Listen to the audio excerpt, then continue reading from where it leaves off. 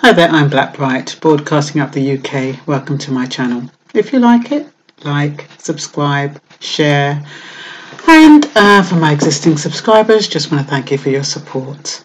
Um, today's video, um, somebody sent me a video and it is about military robots and they sent it to me and I looked at it and I thought, hmm, I thought it was real because to be honest, it's been kind of in the offing when they're talking about how they're going to train robots to kill human beings.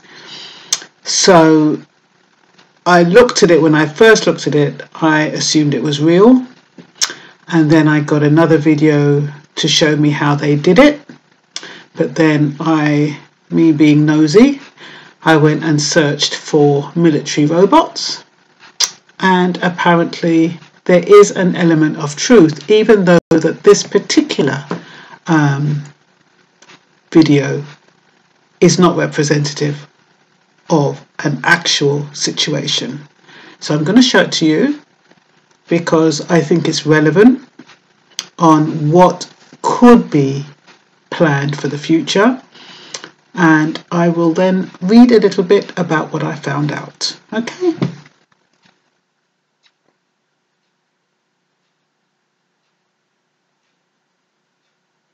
Don't think there's any sound. Oh, there's a sound.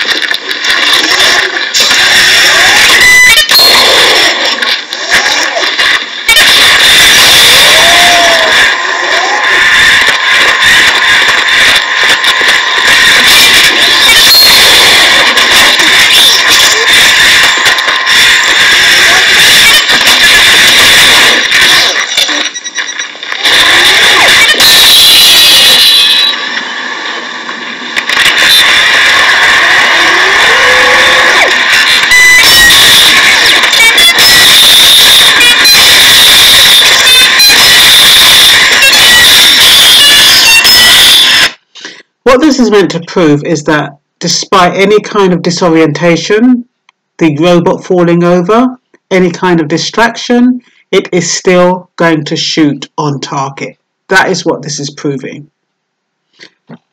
Okay, I'm just going to show you a little bit more.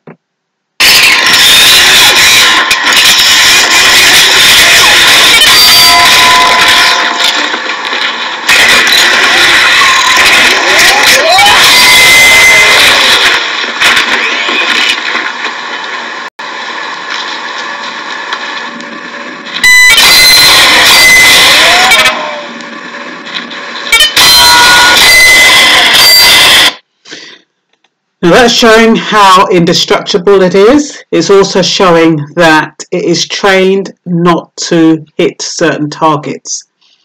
These have algorithms in it as well, and they are going to be trained how to, what to hit from what not to hit. In this particular um, situation, it's trained not to hit a human, just to hit targets and bottles or something else.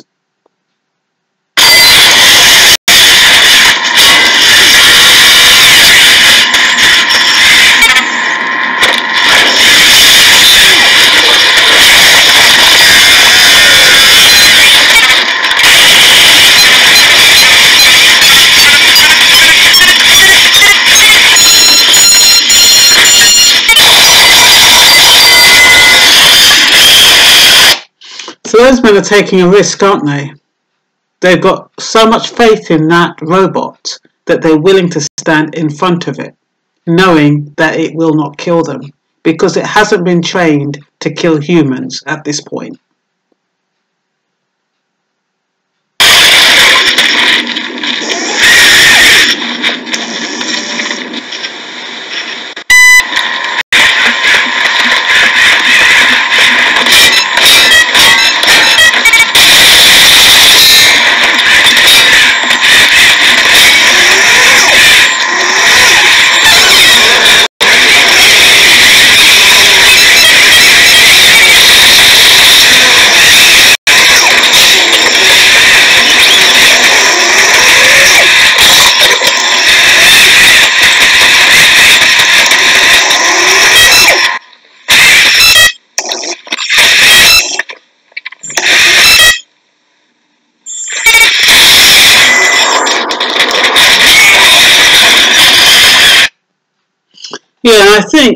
Else it's supposed to show that regardless of how they hit him or knock him over, he's not going to um, shoot them back.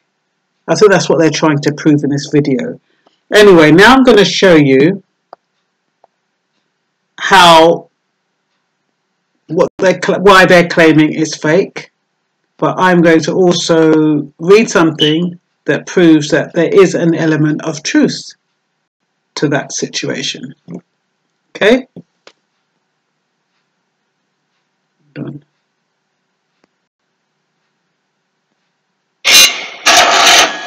What's up guys, so we released this Boston Dynamics video over the weekend and tricked a lot more people than we thought we would. I just want to break it down for you guys real quick. It's almost funnier in a new way, but more than anything else, it gives you guys a look as to what we did to make this video a hit.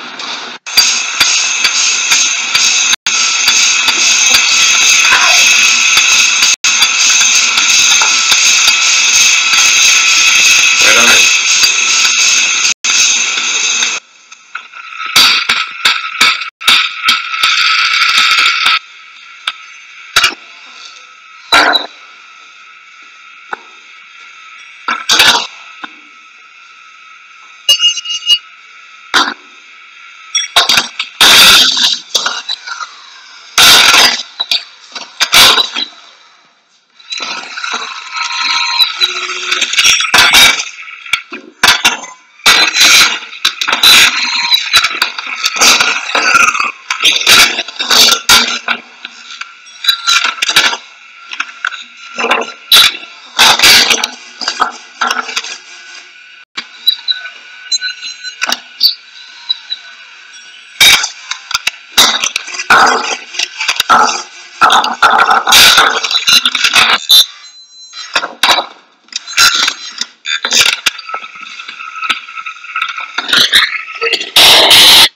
That doesn't really wash with me, to be honest. I mean, they're trying to show you how it works, but to be honest, number one, I don't know why they have to keep hitting it.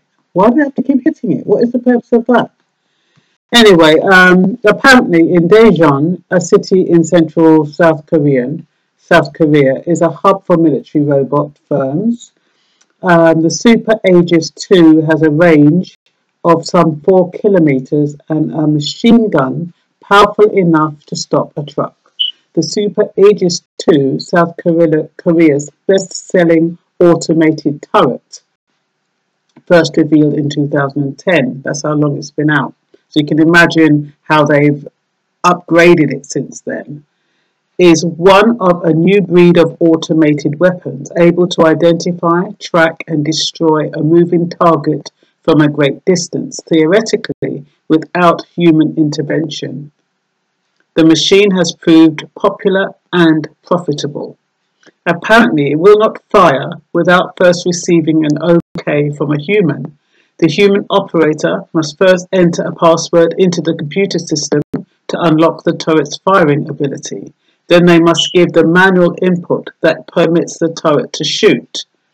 John Park, a senior research engineer for DoDAAM, D-O-D-A-A-M, the turret's manufacturer, works in the robotic surveillance division of the company, which is based in the Yuseong Tech district of Daejeon, it employs 150 staff, most of whom, like Park, are also engineers.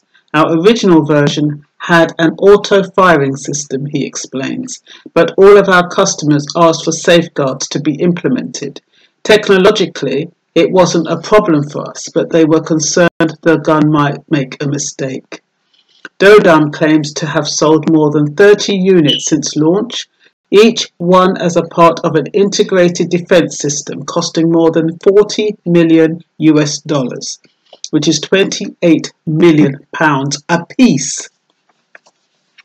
The turret is currently inactive, used in numerous locations in the Middle East, including three air bases in the United Arab Emirates, Al Dhafra, Al Safran, and Al Minad, the Royal Palace in Abu Dhabi, an Armory in Qatar, and numerous other unspecified airports, power plants, pipelines, and military air bases elsewhere in the world.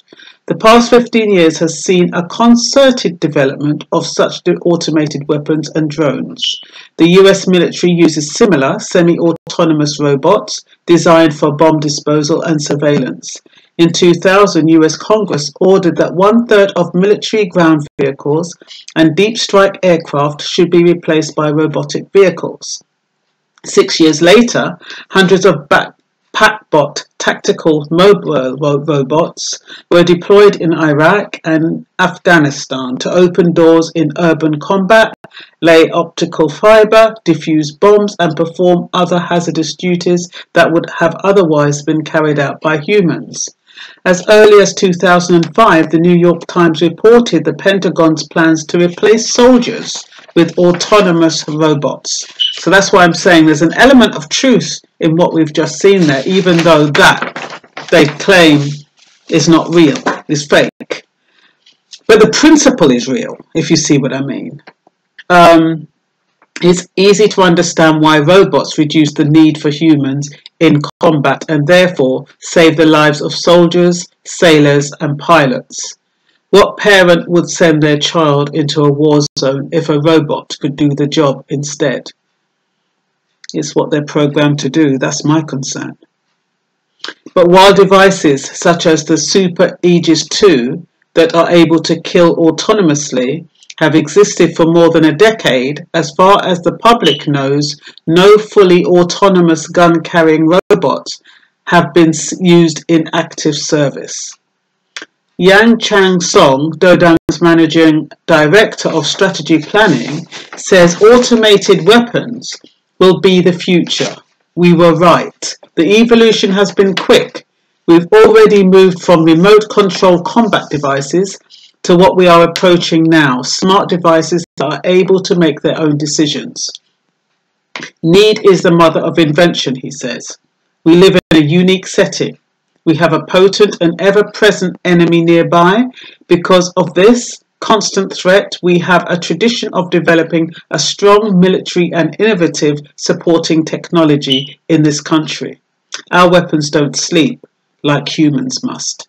They can see in the dark like humans can't. Our technology therefore plugs the gaps in human capability. Things become more complicated when the machine is placed in a location where friend and foe could potentially mix. Currently, the weapon has no way to distinguish between friend or foe. However, in the video I just showed you, it seems to be able to differentiate between a human being, who it's meant to kill, and one he's not. Um, engineers claim that those that they are close to eliminating the need for human intervention. The Super Aegis 2 is accomplished as finding potential targets within an area. Then, thanks to its numerous cameras, the gun software can discern whether or not a potential target is wearing explosives under their shirt. Within a decade, I think, we will be able to computationally identify the type of enemy based on their uniform, he says. Once a weapon is able to tell a friend from foe and to automatically fire upon the latter, it's, it's a short step to full automation. And as soon as a weapon can decide who and when to kill, Robocop-esque science fiction comes, becomes fact. I wonder what they're being taught though. Likewise, a fully autonomous version of the Predator drone may have to decide whether or not to fire on a house whose occupants include both enemy soldiers and civilians. How do you, as a software engineer, construct a set of rules for such a device to follow in these scenarios? That's what somebody was asking them. This is the reason that landmines were banned by the Ottawa Treaty in 1997. They were, in the most basic way imaginable, autonomous weapons that would explode whoever stepped on them. At DoDAAM Park has what appears to be a sound compromise. When we reach the point at which we have a turret that can make fully autonomous decisions by itself, we will ensure that the artificial intelligence adheres to the relevant Army's manual. We will follow that description and incorporate those rules of engagement into our system. Regardless of what possible regardless of what's possible in the future. Automated machine guns capable of firing, tracking, warning, and eliminating human targets, absent of any human interactions, already exist in the world. The Biological Technologies Office in Arlington, Virginia, created in 2014, is the newest in DARPA's six main divisions. This is the office headed by Justine Sanchez. One purpose of the office is to restore and maintain warfighter abilities by various means, including many that emphasize neurotechnology, applying engineering principles to the biology of the nervous system. So while the robots in this video may not be the real thing, they are mimicking the development of what is coming in the future. Well, what is already here, to be honest. So yeah, I thought I'd share that with you. I don't know how many of you, I'd like to hear your comments on that actually. Okay then, bye bye.